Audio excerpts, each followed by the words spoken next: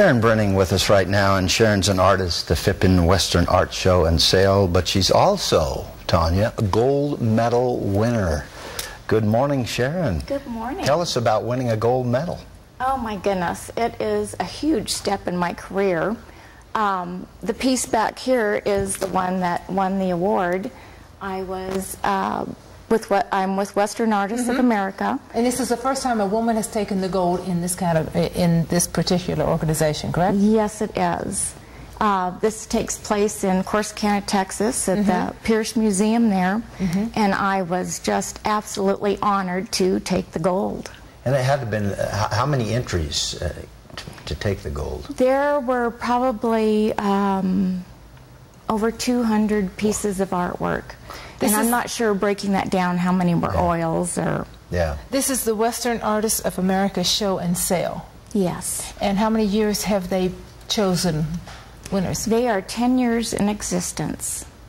And you're going to be at the Memorial Day, Phippen Memorial Day Western Art Show and Sale right here on the plaza that kicks off Memorial Day, correct? Correct. And you'll be showing uh, many of your pieces. Uh, this is That's the gold. oil? Is that Yes, oil? I work in oil. You work in oil only?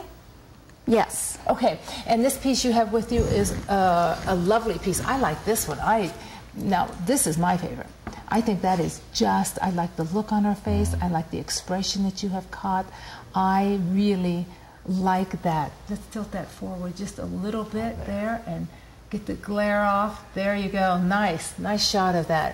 Uh, your inspiration, Sharon. Uh, Western family, uh, ranch family. Why Western art? Usually you don't see women even in the field, let alone I- a gold medal. I was raised here in Arizona, and this was the native culture was part of my upbringing. Uh, my father was photographer, and he loved to. Uh, he took us all around the West as as children.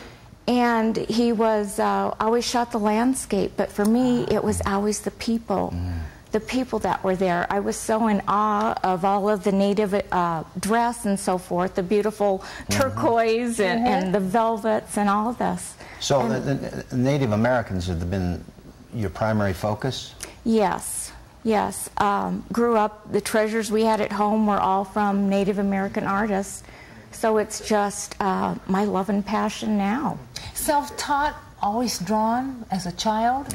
Uh, Started painting uh, about the age of eight. I did my first little Native American girl.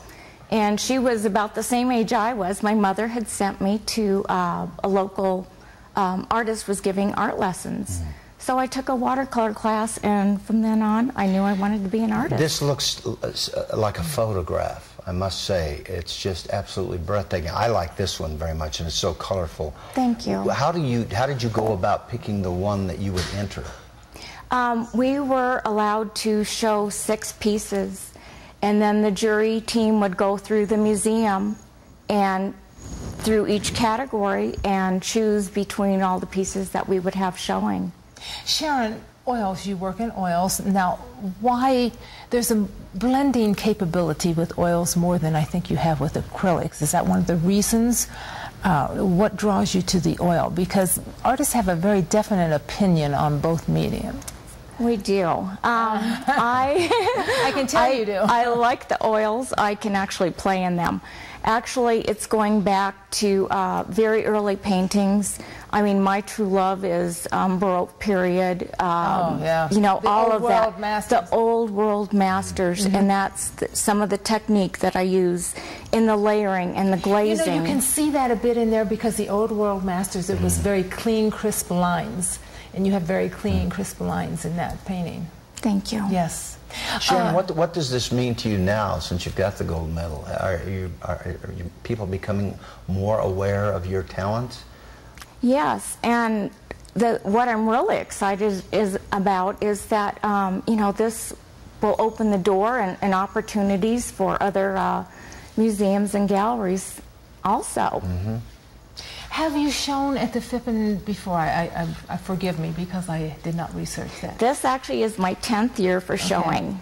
So you've been here many times. Yes, before. so I have quite a good collector base built up here. What is it about the Phippen that uh, draws and it's, it's a juried show, as we know, of It course. is. It's a it's a fun event. This is my venue. It's all the the Western art that comes together, and uh, they put on an absolutely beautiful show. Well, and they've done such marvelous Mm-hmm. work with the Phippen now, with all the new improvements and the bigger gallery. Oh, yeah. There's got to be uh, very impressed. You've got to be impressed with that. oh yes, yeah, I think the whole state is, and all the visitors that we get. Seeing more of your offerings? These are pieces that uh, were part of my solo exhibition at the Pearce Museum. Mm -hmm. And were these in the six that you submitted, or No, this was a solo exhibition Okay. that, that I had. Um, was honored to have a solo exhibition Mm-hmm. there. Which is unusual. Again, is that unusual for a woman? Um, we're we're breaking into the, the world here. It, it is strange how we do when we think of Western art. I never thought about this before until you sat down and we started talking.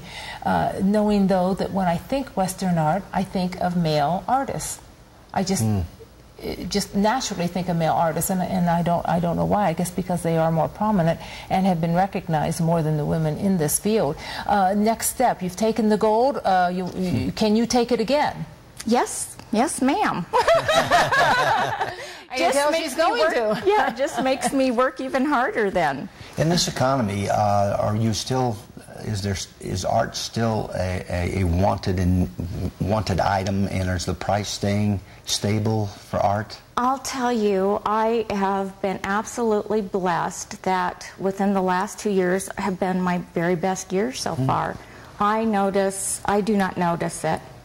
Um, there's just a lot of us that uh, can still make, you know, our living. living. with People are still investing in fine art. Uh, Yes. Because it is a substantial, secure investment, I, I would imagine. A title for the one that uh, was, is that the, I, s- This is I saw, I saw an eagle fly. Okay.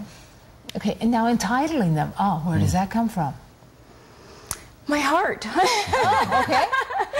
Good enough from, answer. from knowing this actually with Aaron, his uh, grandfather is a very famous, world-renowned um, artist and musician, Mm-hmm. and this was a title of one of the pieces that he did for um, President Reagan.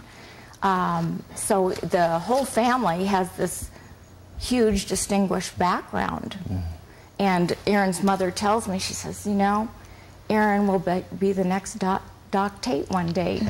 Oh, how impressive. What a pleasure to have a gold medal winner on our program. Well, Thank, you, Thank you Sharon, very so much much for having being. me. You're very, very welcome. When we come back, uh, we're going to talk to the track announcer at Yavapai Downs, as Tanya promised. But first, Tanya's going to let you know about a gold medal, as far as we're concerned, in a place called the Sharlot Hall Museum. Sharlot Hall Museum. It is a family-friendly heritage, and it is a museum that you cannot miss. If you are a visitor to our area, you must see the Sharlot Hall Museum. If you live here and never have been to the Sharlot Hall Museum, shame up on you because it is a premier museum in the state of Arizona. And you can find everything from our history to updated classes. Everything is right there at the Heritage Museum for you. The fair will recreate the 19th century Arizona village. This will be the 38th annual Folk Arts Fair, June 4th and 5th on the museum campus.